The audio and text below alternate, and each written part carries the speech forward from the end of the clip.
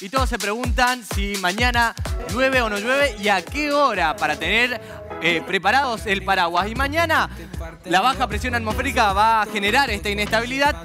Primero, desde la mañana en zona centro y zona norte.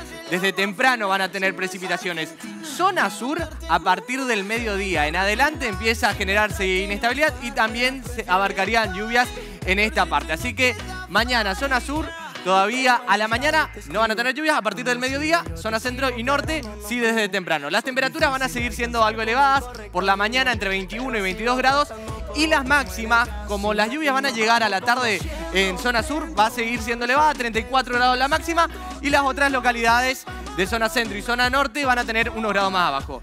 El sábado, acá la inestabilidad en zona sur ya se disipa un poco más, vamos a tener una nubosidad eh, abundante y por la tarde se despeja. Y en zona centro y zona norte, el sábado tendríamos algo de lluvias y ocasionales tormentas aisladas menos milímetros que el viernes. Las temperaturas descienden un poco más, entre 18 y 20 grados para este sábado y las máximas entre 28 y 29 grados. Así que para el sábado desciende un poco más la temperatura y anticipa un poquito el domingo casi sin precipitaciones.